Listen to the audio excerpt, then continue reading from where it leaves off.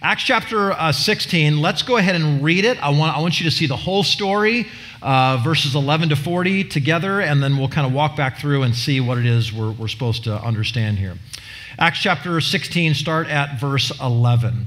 So, setting sail from Troas, we made a direct voyage to Samothrace and the following day to Neapolis, and from there to Philippi, which is the leading city of the district of Macedonia and a Roman colony.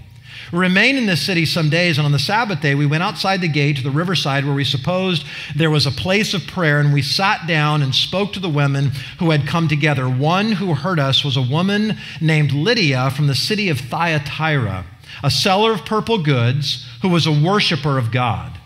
The Lord opened her heart to pay attention to what was said by Paul, and after she was baptized, and her household as well, she urged us, saying, If you judge me to be faithful to the Lord, come to my house and stay. And she prevailed upon us. As we were going to the place of prayer, I think again, we were met by a slave girl who had a spirit of divination and brought her owners much gain by fortune telling. She followed Paul and us, crying out, These men are servants of the Most High God who proclaim to you the way of salvation. And this she kept doing for many days. Paul, having become greatly annoyed, turned and said to the Spirit, I command you in the name of Jesus Christ to come out of her. And it came out that very hour. But when her owners saw that their hope of gain was gone, they seized Paul and Silas, dragged them into the marketplace before the rulers, and when they had brought them to the magistrates, they said, These men are Jews, and they're disturbing our city. They advocate customs that are not lawful for us as Romans to accept or practice.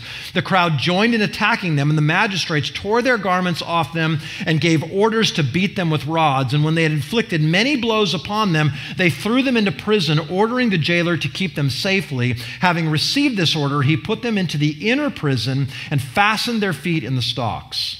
About midnight, Paul and Silas were praying and singing hymns to God, and the prisoners were listening to them. And suddenly there was a great quake, so that the foundations of the prison were shaken. And immediately all the doors were open, and everyone's bonds were unfastened. When the jailer woke and saw that the prison doors were open, he drew his sword and was about to kill himself, supposing the prisoners had escaped.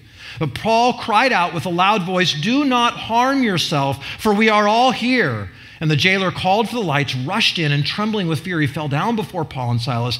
Then he brought them out and said, Sirs, what must I do to be saved? And they said, Believe in the Lord Jesus, and you will be saved, you and your household. And they spoke the word of the Lord to him and all who were in his house. And he took them the same hour of the night, washed their wounds, and he was baptized at once, he and all his family. Then he brought them up into the house, set food before them, and he, re- and he rejoiced along with his entire household that he had believed in God. But when it was day, the magistrates sent the police, saying, Let those men go. And the jailer reported these words to Paul, saying, The magistrates have sent to let you go. Therefore, come out now and go in peace. Paul said to them, they have beaten us publicly, uncondemned men who are Roman citizens, and have thrown us into prison. And do they now throw us out secretly? No. Let them come themselves and take us out. The police reported these words to the magistrates, and they were afraid when they heard that they were Roman citizens. So they came and apologized to them, and they took them out and asked them to leave the city. So they went out of the prison and visited Lydia. When they had seen the brothers, they encouraged them and departed. Now, let me, let me just remind us. So, Paul's on this second missionary journey. He's kind of going backwards where he went before. He, it says at the beginning of chapter 16 that he, he really wanted to go down into what we know as Asia Minor, part of Turkey today. He was prevented by the Holy Spirit. He finds his way finally to Macedonia, to the city of Philippi. And there, I imagine, we don't know exactly, but Paul's probably there for several weeks. Things are going well. And, and, and, and, and people are coming to faith, so much so that when uh, he gets thrown in jail, one of the accusations is that, that they are, this group of people that have come, are disturbing the whole city.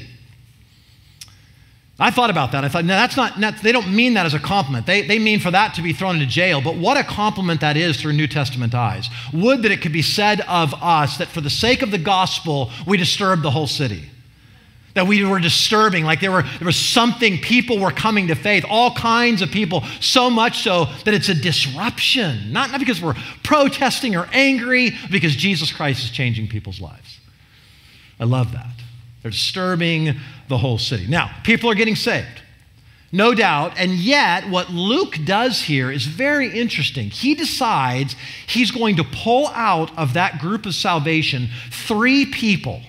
And it's almost like he's doing a case study in salvation. And he chooses a woman, a woman, a slave, and a Gentile. Now, that is not coincidental. It's not coincidental because an early Jewish man, like in Paul's day, one of the first prayers they would pray when they got up in the morning was, I thank you, God, that I'm not a woman, a slave, or a Gentile. And here's Luke going, Well, let me show you your sense of privileged status. You, you think that because you're Jew, there's some sort of distinction God makes. And we've seen over and over in the book of Acts already this, this loud message God makes no distinction between who you are ethnically or socioeconomically or any of these things. And now Luke seems bent on showing us exactly what he means. So he gives us these three cases. So I just want to walk through them. You've heard the story now. You heard the story of Lydia. You heard the story of the slave girl. You heard the story of the Philippian jailer. Now let's walk through. And all I want to do is ask kind of two questions Who does God save and how does he save? Okay? So let's look at them. We'll kind of cycle through on both those. So let's first look at who God saves. And of course, we get to Lydia first. What do we know about Lydia? Well, Luke tells us a whole lot. He says, of course, she's a woman. He tells us she's Asian. That is, she is from, uh, probably from the district of Lydia. Maybe that's where she got her name, the city of Thyatira. And so she, she's actually from Asia that Paul was forbidden to go into. She is a seller of purple. Uh, Thyatira was actually the center of that, of that uh, industry. And I know that sounds strange for us, like what does that mean? But, but it was very, very difficult to make purple dye in those days. You had to use a certain kind of shellfish and grind up and boil and do all these things. So, so it tended to be a very rare fabric. And so that meant that her clientele, if you will, were probably royalty and certainly the extremely wealthy. So that probably tells you something about Lydia. Lydia is probably a wealthy businesswoman. Okay, we don't know if she's married, maybe she's single, we don't know, but we know she's wealthy. She owns a home. Maybe she owns one in Thyatira and one, you know, like she owns one in the mountains up at Arrowhead and out in the desert and down at the beach, right? She's got, she's a wealthy woman. And, and look at what, uh, what, what happens to her. Like God decides, I'm going to reach down and I'm going to save her. But it says she's a worshiper of God. That's kind of a, a technical term, we might say. She's spiritual, she's moral, she's religious. Uh, we might say here she is a woman with a Hebrew Bible trying to make sense of all these sacrifices, these kings, these prophecies. What does all this mean? I see God in here, but I'm not sure. So, I mean, here's a woman who has everything, but she's searching for something more, right? That's the idea. She, she's seeking, she's wanting something, and God decides, I'm, I'm going to reach her. See, religious people need the gospel, don't they? In fact, just as much, if not more, because sometimes religious people, and that would be many of us, perhaps even in this room, that we think we're closer to God because of our religious behavior. And Luke is showing us she's, she's not, but for the grace of God. Next, we run into this slave girl. She's most likely Greek, and let's just say it this way she is the polar opposite of Lydia. Lydia is wealthy. This girl is abjectly poor. Now, let me say it in this, in this sense. She owns nothing. She has nothing. She, any money she makes is taken. She has no freedom. She has no liberty. She has no rights. She doesn't, can I say it? She doesn't even have a name. Isn't that interesting that Luke doesn't record for us. I know he does with the jailer too, but when we put these two in opposition to each other, right, it's like she's got nothing. She's a nobody. She is oppressed. She is abused. We might say today she's a victim of human trafficking. She's a prostitute on the streets of LA that's making money for her pimp. That, that, that's what's going on, but it's more than that. She's, she's tormented by spirits. Now, be careful, right? When you come, I think a lot of modern readers, we bring all of our modernity into reading Scripture. So, what some of you want to do is take what the Bible will call a spiritual problem. It'll call demonic possession, it'll call spirit of divination, things like that, and we'll try to turn it into a mental disorder. The Bible knows the difference. I mean, a little boy has epilepsy, he'll say he has epilepsy. It doesn't just say he's got a demon, right? It, it understands there's a difference between physical and spiritual ailments. And here it specifically says this woman has a spirit. This girl, and, and probably this a young girl, has a spirit of divination. In fact, by the way, that word literally in the Greek says she had the spirit of the python. That's weird, huh? The spirit of a python. Now, what does that mean? John Stott, uh, let, me, let me let him explain here. He says the reference is to the snake of classical mythology which guarded the temple of Apollo. Apollo was thought to be embodied in the snake and to inspire pythonesses, his female devotees, with clairvoyance, although the other people thought of them as ventriloquists. So, okay, so, so what's Luke doing? Is Luke giving credence to tales of Apollo and, and these other Greek and Roman gods? No. No, but let me tell you what he does do. Just like if you and I were to go into a foreign country where there was, um, let's say, uh, overt idol worship, pa- Paul's going to say to the, to the Corinthians, he's going to say, an idol is nothing, but behind the idol, something. In fact, in 1 Corinthians chapter 10, he says, Am I implying, talking about food offered to idols, I'm implying that food offered to idols is anything or that an idol is anything? No, I imply that what pagans sacrifice, they offer to demons and not to God. In other words, Paul's saying behind that wooden idol that seems like it's nothing, that golden idol, whatever, there's actually demonic things going on. I think this is exactly what Luke is saying. Behind this idea of the spirit of the python is some real, sinister, demonic demonic activity happening in this little girl's life, and she is abused. And think about this she's doubly abused. She's abused by her, her owners. You do what I say, you make money for us, we pimp you out. And she's abused by a spirit that says, I'm going to control you and, and, and I'm going to be inside of you and torment you. I mean, we're supposed to feel pitiful. This is like, you're supposed to feel like compassion for this girl. This is horrendous what she's going through. So there's Lydia, there's, there's a slave girl, then there's the Roman jailer. Now, now I, I, it's interesting to me, right?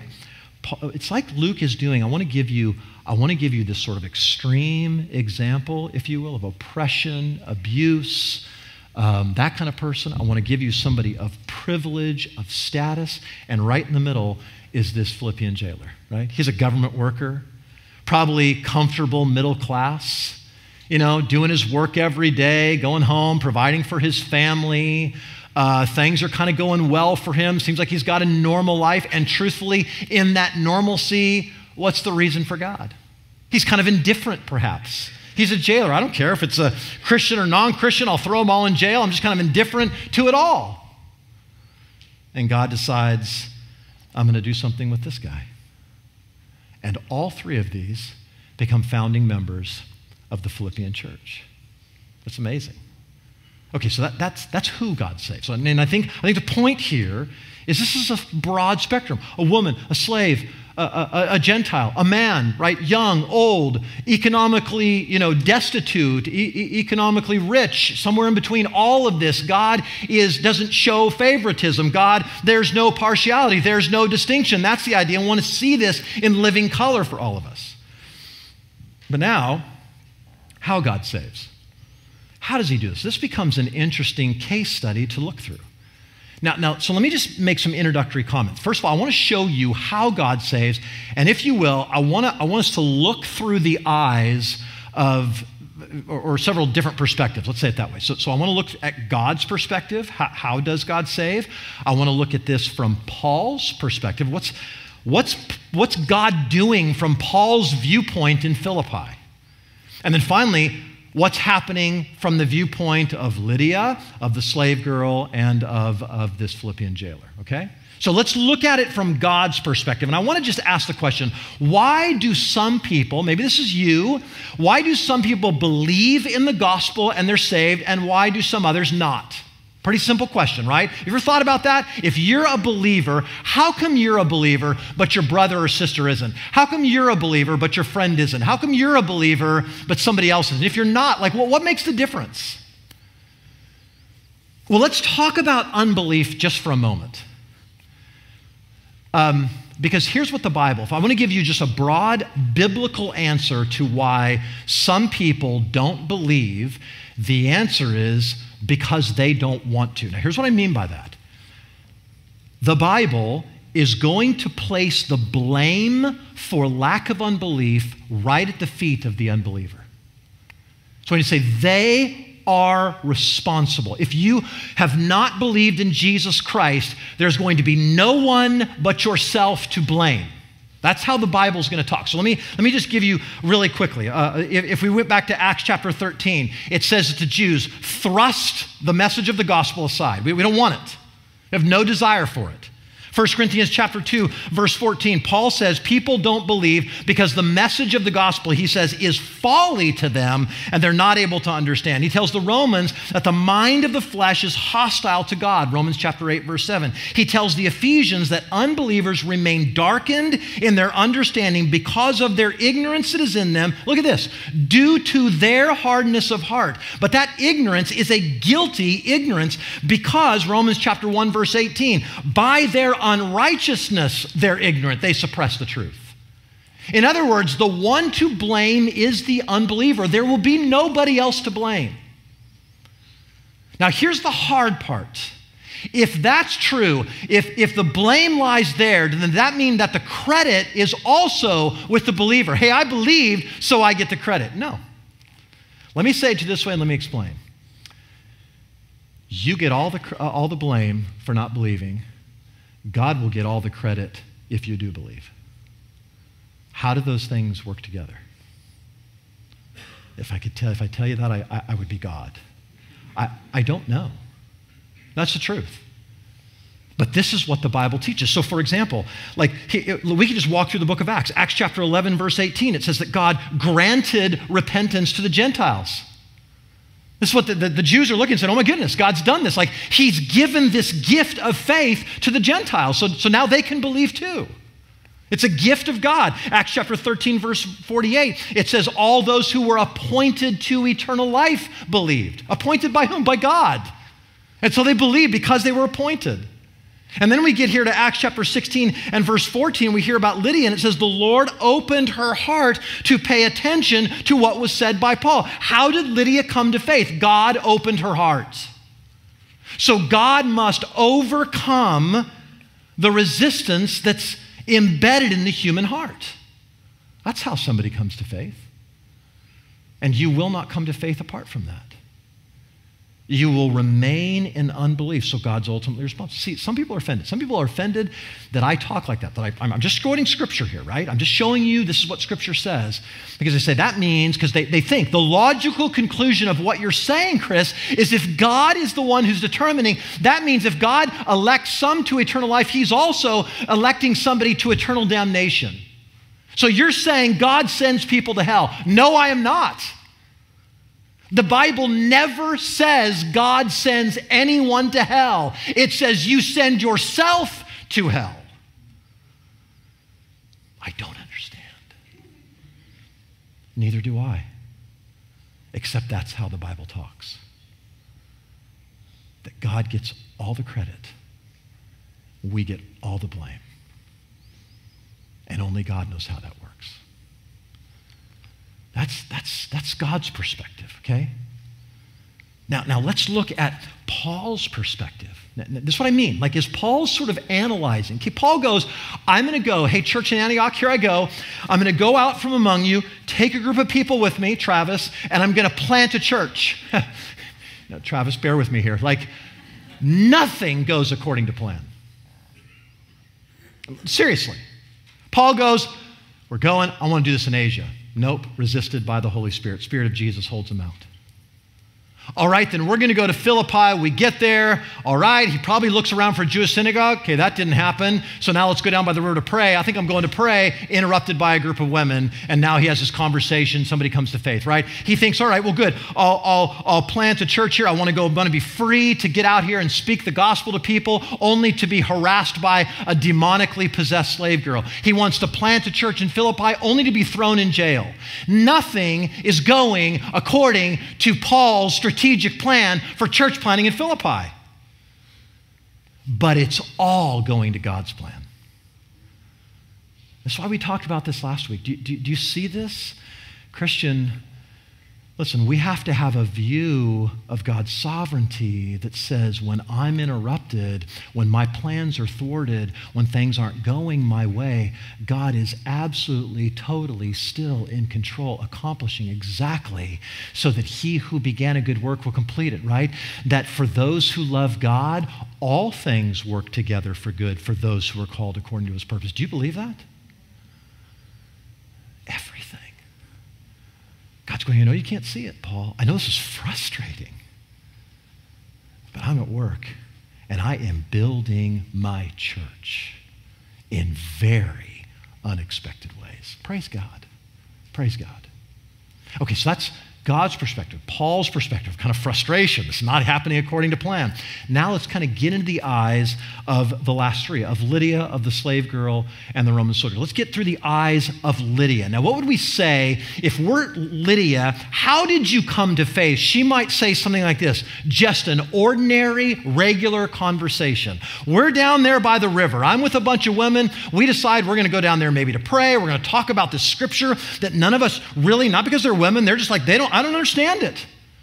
I'm reading about kings. I'm reading about, about you know, blood sacrifices. I'm reading about all these kind of you know, prophecies. I don't know how to make sense. Long comes this guy. He strikes up a conversation with me. And in the midst of that conversation, I hear for the first time, this is what that all means. And I start to put two and two together, and I believe and I'm saved. That's her perspective. Now, now by the way, look at verse 14 again. It says, this is Lydia. It says, the end of verse 14, the Lord opened her heart to pay attention to what was said by Paul. Let's just take that kind of word at a time. The Lord. Who's, who's the key factor in her salvation? Is it Paul's ability to convince her? Is it Paul wowing her with his oratory? It's God.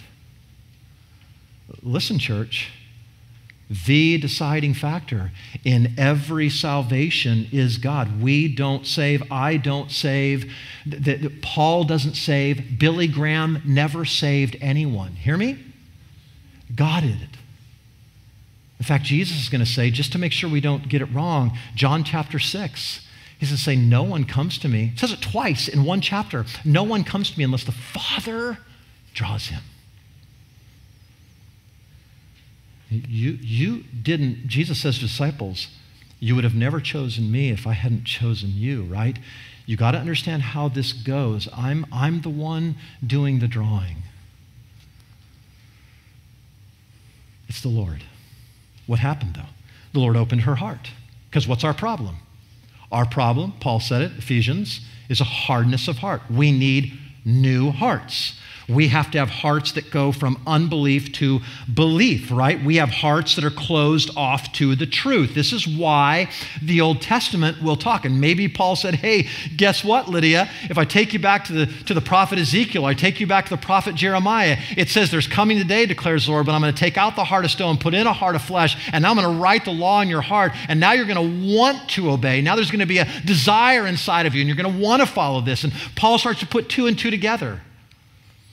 And God opens her heart to do what? To pay attention, to listen to Paul, to give ear, to go, this is, this is like, I bet most people in this room who say, if I can look back to the day I became a Christian, a message that perhaps I'd heard a hundred times, maybe the first time, I'd heard over and over again, heard it for years, finally, it's like I was zeroed in. This is talking to me right now. God is opening my heart to believe. And then what happened? Open her heart to pay attention to what Paul said. Now, what did Paul say? Well, I, I, don't think it's a stretch at all. In fact, I think this is the only conclusion we can come to is he, he just preached the gospel. Now, here's what I mean by that wasn't four spiritual laws. God has a wonderful plan for your life, Lydia. I think it's him taking her back to the Old Testament and saying, Lydia, let, us go back. Look at what happened in the garden. Look at how we rebelled. Now, now we've, we've the, the, the, first Adam failed. The second Adam, Jesus Christ, let me show you how he fulfills everything that Adam. Adam failed in the moment of eating a piece of fruit. Jesus succeeds in the moment of being tempted by food. I mean, he goes back and he looks at the kings and says, Man, they were longing for a king who could never, ever seem to get it right. Finally, a king comes along that'll sacrifice himself and his agenda for the sake of his people. He, he, he goes back and shows them the blood sacrifice. Every single one of those pointed forward to this man, Jesus, who finally died and paid paid for all the sins, never have to pay for them again. Lydia, this is the truth. And God, in that moment, says, I've seen, she's been looking at this, maybe studying it, trying to figure it out, can't see it. How many of you remember those pictures? Like, they're like 15 years ago, remember those pictures that were popular? You'd stare at them, but you couldn't tell me, like, there's a butterfly. I can't see it, right? I'm like, uh, uh, I got to get my focus just right. And if, oh, there it is, right? It's like moment of epiphany. It's like the gospel could not see what was right there in front of my eyes until God opened my eyes and I saw. That's what's happening. God gives her eyes to pay attention to what's being said by Paul. And Lydia becomes the first convert in all of Europe. Listen, listen to me. Maybe there's a Lydia in your life. Maybe just an ordinary conversation at the office, at school, to a neighbor sitting on an airplane, or maybe your plans are interrupted, but God says, I'm setting a Lydia right next to you. All that you got to do, all that's left for me is just to preach the gospel. Notice that. What was said by Paul? Listen, the, the, the gospel is indispensable. My testimony is dispensable. Do you understand that, Christian? I think sometimes we're embarrassed by the gospel. Somehow I got to make this more attractive. Somehow I got to talk about here's what Jesus has done in my life. That's great, what Jesus, but my testimony saves no one. What saves people is the bloody death of God on a cross for your sins to satisfy what God the Father required so that now you can be reconciled to God. Now, that's why Paul says this feels moronic. That's literally the word he uses folly. It's crazy. People go, no, no, so I want to dress it up. Paul says, no, here's what they need. Every person who's not saved needs the gospel. If you're here today and you're not a Christian, what you need is the gospel. What you need is to listen to somebody preach the gospel. What you need, let me just say this, is to walk in the back there, ask somebody, Can I have a Bible? We will give you a Bible. Go home, hear me, go read the book of John. Perhaps in reading the Gospels, in reading the book of John, perhaps God will cause you to pay attention to what's being said in Scripture and you'll believe. That's how it happens every time. If you are a Christian, I, I want to reinstill in you a confidence in the gospel of Jesus Christ. It's still the power of God for salvation for all who believe not your testimony. That's wonderful. Praise God. That's ancillary. That's not primary. Preach the gospel. That's Lydia, just an ordinary conversation. The second one is a slave girl, and we might say this is a power encounter. So let's look at let's talk about Lydia just for a second again. Lydia's primary need was intellectual if I can say it that way. I don't, I don't, mean to say it's not a spiritual need. Just understand what I'm saying? I just need an ordinary conversation that's going to help explain this gospel thing to me, explain how this Old Testament works, and now I'll believe. You've got a girl here, this slave girl. Her issue, can I say it this way, is. Uh, spiritual, experiential, psychological. I don't mean by that that her problem is just a psychological problem. I mean, if you're tormented by demons, if you are owned by another person, you will have psychological problems, right? Is that fair? And so, what does she need? She needs to be set free. And so, what happens? Paul comes along and says, Man, all right, so, so uh, we got to do something about this. She needs the power of the Spirit. She, listen, I think, by the way, uh, you notice how she, she encounters Paul, and then for several days following him around, saying, These men are servants of the Most High God, and they're preaching to you the way of salvation. Let me say to you something about demonic oppression or possession and control. It doesn't mean that on the day you are demonically possessed, let's say, that you fall into a trance, and let's say that lasts for several years, you wake up and say, What happened the last several years? You're, you're, you're, you're awake. Maybe this girl knows something is terribly wrong, and I am powerless to extricate myself from this. And maybe, can I say it this way? Maybe those words, by the way, they're exactly correct, aren't they? They're servants of the Most High God, and they proclaim to you the way of salvation. And maybe that's a cry of a desperate girl, and maybe that's the cry of a demon who wants to discredit Paul and his companions. Right? I, I, I want to associate you with the whack jobs. I want to associate you with demonic and the occult. And Paul says no. And greatly annoyed, notice what he does. He speaks to the Spirit. This is interesting that Luke points this out. He's not annoyed with this girl.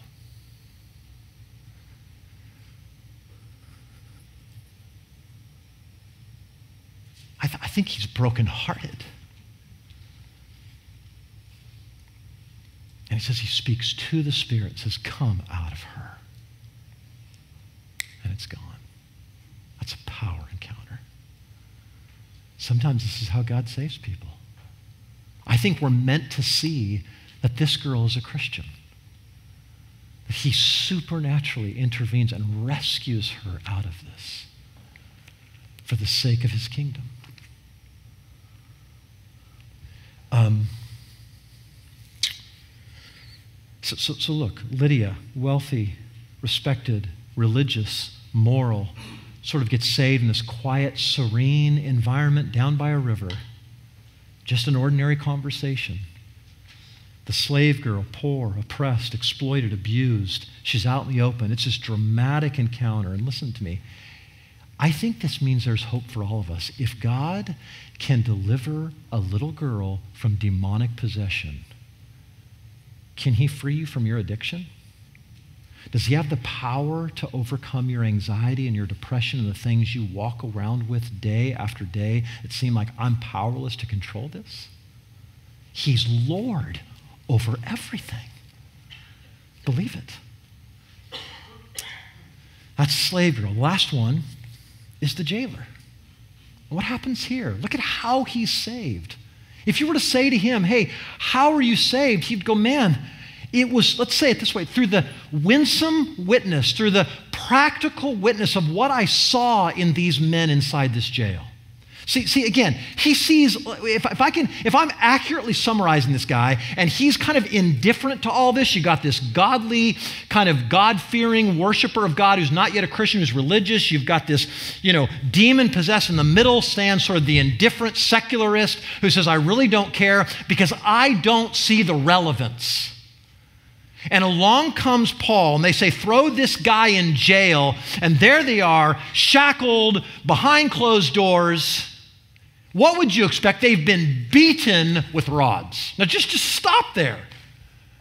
Like, don't, don't run over that. Somebody takes a broomstick handle and beats you with it 50 times, 40 times. How are you feeling right now? So, so you'd expect, you'd expect if you're the jailer to be sitting there and hearing this. Oh, oh, oh, right? What does he hear? Praise God from whom all blessings. Like, this is mind blowing. I heard Rosario Butterfield, some of you know that name, radically saved absolutely rejected all things Christian. And um, man invites her in, who's a, a, a, pastor. She wants to research why Christians are wrong about homosexuality in the Bible and that sort of thing. And so she she ends up befriending a, a, local pastor and going to his home, kind of very skeptical. And, and, and, truthfully, she didn't hear it for a long, long time. She, she heard, but she didn't hear, right? She, she saw, but didn't see. And I heard her talk one time and says that I'll tell you what made a huge difference was watching how they suffered. See, we think, Christian, that, man, if the world can see us just living these great lives, moral lives, good lives, this is what will become attractive to them. But you know what makes the most of Jesus? Is when they see us suffer and we don't walk away. When they see us suffer and say, This is the resource. Like Jesus is everything. That's when we make much of Jesus. The Philippian jailer hears this. He sees this. He runs in and says, Okay, who does this? Right? And by the way, notice the, the, the earth shakes, their shackles come off, the doors fly open. Now, I'm Paul. I'm thinking, sign from God. Run. Right? They've done this before. Peter did that. The angel comes, slaps him. Peter, get up. Come on, let's go. Not this time. Paul stays. Why? Isn't that weird? Let, let, me give you, I think, two reasons. One's a very practical reason that you see in verses 35 through 40. Paul understands that if he just leaves quietly and, and gets out of the city and they escape, that, that Philippian community of believers will suffer under continuing persecution. So he's like, no, I'm going to stay for the sake of them. But I think he stays for another reason. I think he knows exactly what will happen. They know exactly what will happen to that jailer if they run. Now, who stays in bondage for the sake of somebody else? Who suffers so that somebody else might live? You see what I mean? Talk about a winsome witness. This is what opens the Philippian jailer's heart to walk in and say, What must I do to be saved? And Paul says, Believe. Believe into Jesus Christ. Put the full weight of your trust in Him. Explains the gospel perhaps. This is just the truncated version, perhaps, of what Paul said. He believes, he's baptized, his life is changed, his whole household is changed. This becomes the beginning of the Philippian church. Paul loves this church. Like, I think this is one of the beloved churches for Paul so that he writes to them in the book of Philippians, his letter to the Philippians, and he says this I thank my God in all my remembrance of you, always in every prayer of mine, for you all, making my prayer with joy because of your partnership in the gospel from the first day until now. And I'm sure of this, that he who began a good work in you will bring it to completion at the day of Jesus Christ. He sends that letter. Now, watch this. Somebody stands up and reads that letter. Maybe it was a little slave girl. Maybe it was Lydia. Maybe it was the Philippian jailer. Because God had created through the gospel a family so disparate, so weird, so, so different. But through the power of the gospel, this is the church that Jesus planted in the Philippi. Praise God. Let's pray. Father, we love you. Thank you for the power of the gospel. And I just pray. I pray for my friends here in this room right now. I pray for those who maybe they're religious, maybe they're oppressed, maybe they stand in that sort of secularist middle ground that just doesn't see any need for it, that God, you'd open their eyes. Perhaps there'd be a conversation. Perhaps they've heard the gospel this morning. That however you decide to do that, God, we trust you, we thank you, and we pray that would happen today. But I also pray for those of us in this room who are Christian, who call upon the name of the Lord, who, who name Jesus Christ as our Savior. That God, we would be confident once again that the gospel, and only the gospel, is the power of God for salvation for all who believe. And that it would be our goal as you, we find ourselves interrupted, as we find ourselves in regular conversations as we find ourselves with people who have watched our lives and we have an opportunity to speak the truth of that gospel, pray, God, even in our feeble attempts, open our mouths Open our mouths, God, for the sake of your glory and for the sake of belief in Jesus Christ, that many people might be saved through that. We love you, Lord. We thank you. And we ask this in Jesus' name.